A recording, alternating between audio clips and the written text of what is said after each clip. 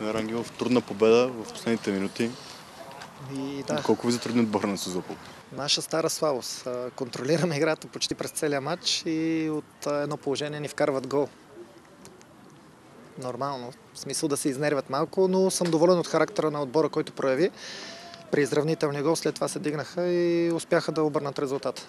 Изглежда трудно да успеете да стигнете до първото място, което означава, че най-вероятно ще трябва да минете през баражи за влизане в първа лига.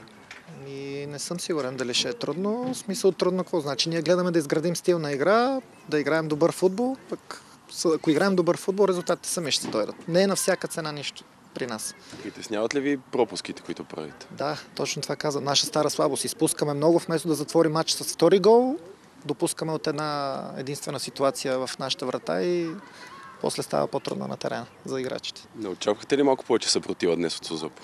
И това е отбора, който играе по този начин. Не знам дали сте им гледали другите матчове.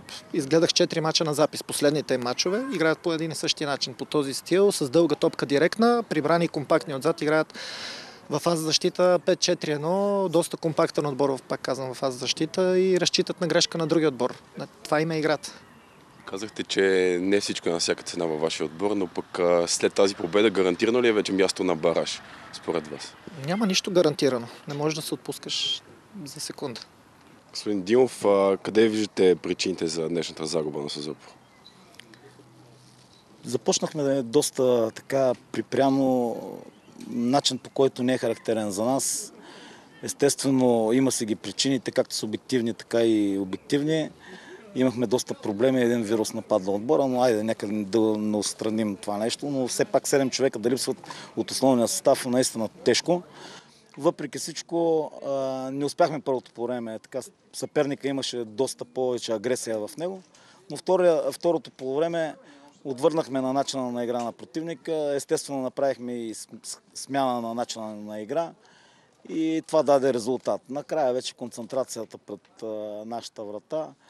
Ние, се славим, ние сме отбора в втора лига, който най-малко е допуснал голове, с най-добрата защита, но е, и, и се славим с това, че не допускаме през статични положения, но ето днес стана така, че отбора на домакините от две статични положения успя да вкара гол.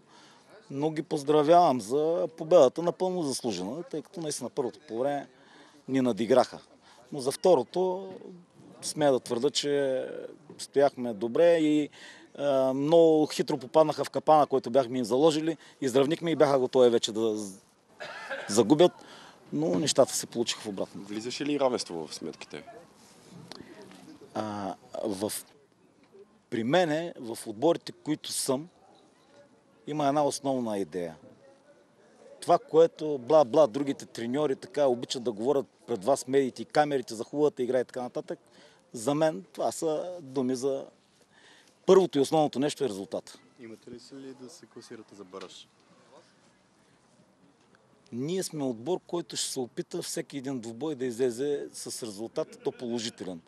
Ако се отдаде да влезем, да играеме бараж, защо да не го играем? Ако победим баража, защо да не влезем? Ние имаме най-добрата, една от най-добрите бази, е, готова за отбори, които играят в първа лига.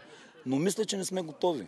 Като отбор, като имаме още да правим доста неща, нека си ги направим и тогава ще мислим за по-високото ниво.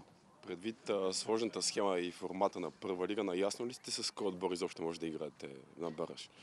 За мен не е... Значи, още един път. Не е толкова сложна системата. Просто трябва да се вникне в нея. Напротив, системата ясно и точно показва кой с кого, по какъв начин играе. Да, разбира се, че сме наясно. Знаем вероятността с кой може да играем, но първо да свършим работа. Ние мисля, че сме все още не сме готови да изиграем а, този матч, който е необходим, плейоф за влизане в първа лига. Какво още трябва да подобрите в играта си, за да постигнете положителен резултат в следващия матч? Първото нещо, което е, трябва много работа, много труд от тези футболисти, които са в момента. Наближава края на сезона. Естествено ще се разделим с двама-трима. Ще вземем двама-трима, които в момента разговаряме и искаме да привлечем, за да може да се увеличи а, стабилността, класата на отбора и оттам нататък работа. Това е, това е правилото.